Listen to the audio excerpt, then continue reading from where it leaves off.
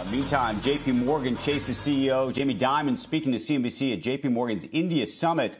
Here's what he had to say about a proposal by Democrats in the U.S. to tax the wealthy based on their net worth. A wealth tax is almost impossible to do. I'm not, but I, am not against having higher taxes than the wealthy. But I think that you should do that through their income as opposed to, you know, calculations of wealth, which become extremely complicated, uh, legalistic, bureaucratic, regulatory, and people find a million ways around it.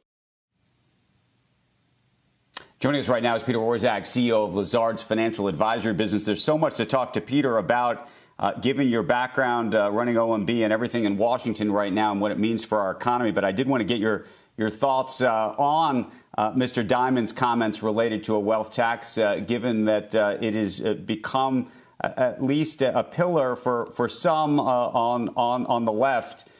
in terms of what may or may not come if if Biden were to win. Well, a couple of comments. First, uh, I agree with uh, Jamie. A wealth tax is complicated. It's not impossible. Uh, four or so European countries have wealth taxes. They obviously are possible to do.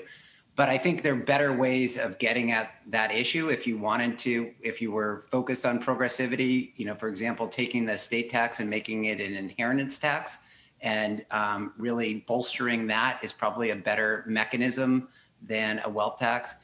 And then finally, I would just say I think uh, whether any of these kinds of proposals actually happen or not depends not only on whether the uh, Democrats uh, take over the Senate, but also which kinds of Democrats get elected. And so I think there's a lot of uh, fear out there, if for lack of better uh, phrasing, about a far left uh, legislative agenda that I just don't think lines up with looking at who the marginal Democrats are that would um, give the Democrats uh, a majority in the Senate.